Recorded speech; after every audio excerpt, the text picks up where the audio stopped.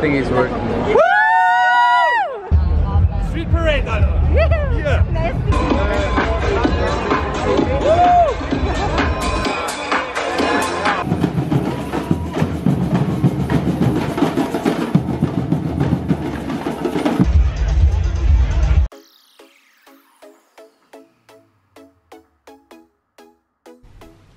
Hoi zämme, I'm Dominic and welcome back to FiliSwissed.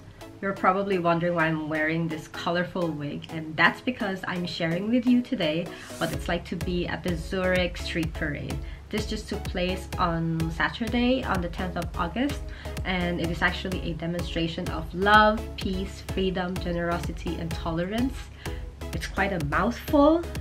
It's, one of the most attended techno parades in the world. It is held in Zurich, Switzerland, and basically you'll see love mobiles following the lake of Zurich. And these love mobiles have like music blasting off of their speakers. You have dancers on board, dancers on the ground, and they're fully decorated according to their chosen theme. The streets, just like in the Zürichfest, are closed the city is packed in that area.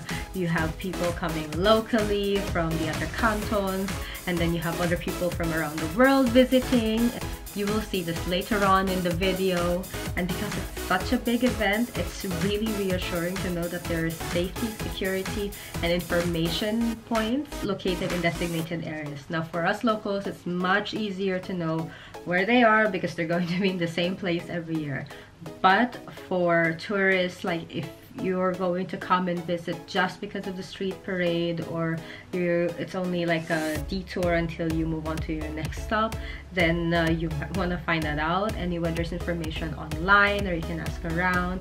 You'll see a lot of people who you'll be able to ask hey where's the nearest public toilet or whatever?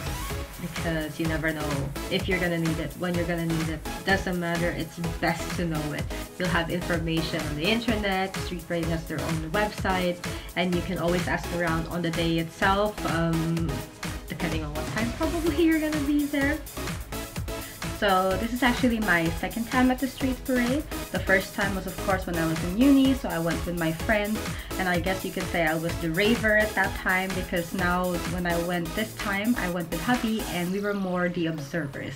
So raver, observer, it's quite a different experience, different perspective. So actually I appreciated the street parade more this time because I actually got to see what the street parade looks like.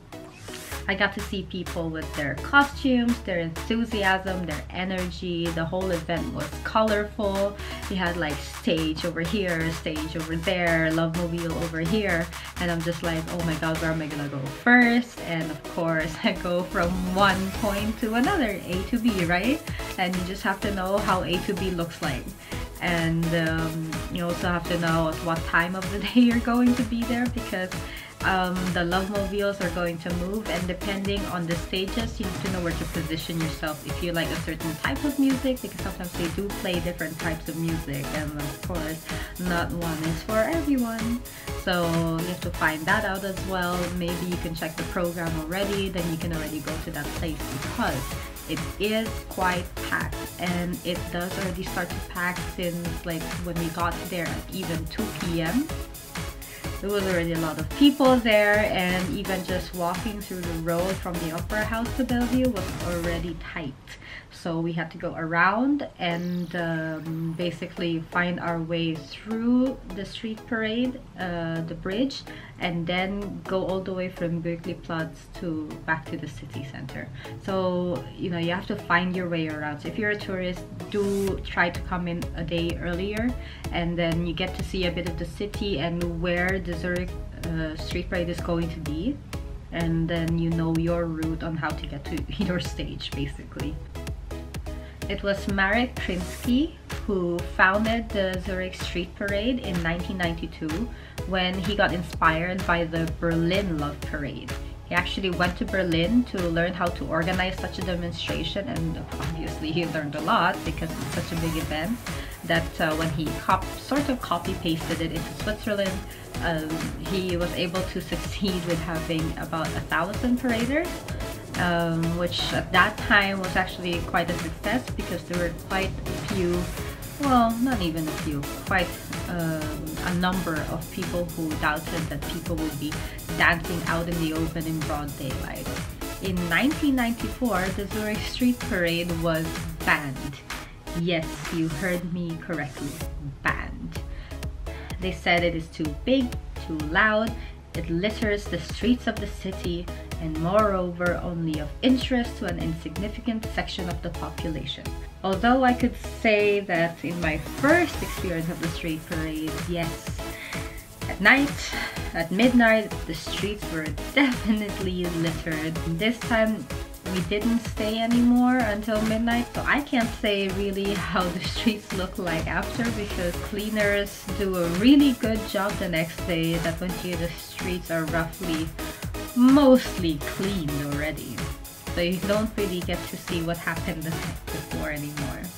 There were media and political parties who voiced out their nays, and there were letters of protests and signed petitions addressed to editors of newspapers. So there was a significant political and public pressure. That's solidarity, isn't it? The police force finally caved in.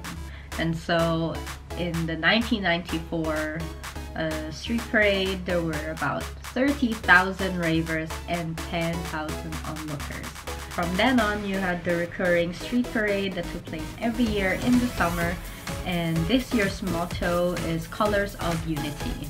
This year's was also around 850,000 ravers so apart from the medical and informational needs, the street parade also has food stalls where you can grab yourself a Spießli, a bratwurst, and other snacks to fill up your belly. Now I do have a few tips to give you if you are interested in going to the street parade in 2020. Number one, your outfit. Wear comfortable clothes, especially your shoes, because if you're going to be there the whole day, you're gonna need really durable shoes or you're gonna have to make sure that they're the ones you don't care if something happens to them because it will be messy. Beer and you have to be very careful because there will be shards of glass, there will be pieces of broken glasses or cans just there on the ground or people may even step on your toes. And even I had to wear my palladium boots just to make sure that I don't get the worst of it. So do pay very close attention to them.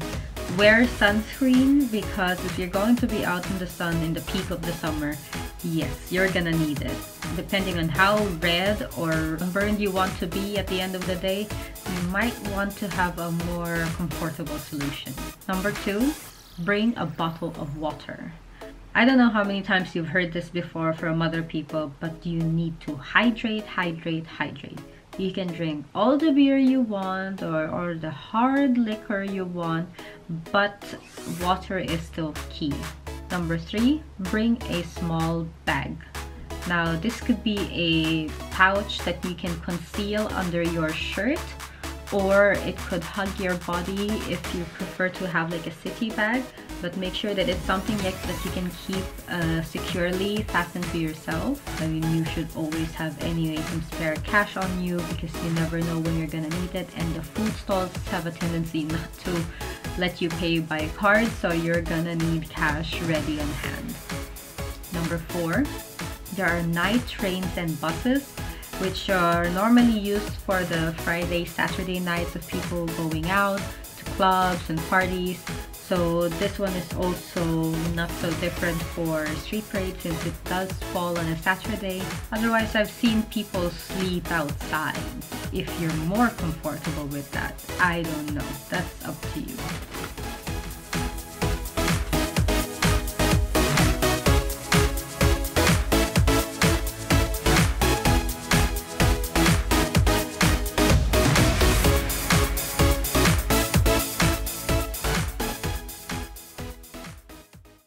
So I hope you found this video informational and if you are interested in going to the street parade in 2020, I do strongly suggest that you plan ahead because you will need to book your flight and your rooms accordingly because it is a peak time as well in Switzerland. So if you like these types of videos, don't forget to like and subscribe to my channel and I'll see you in another video.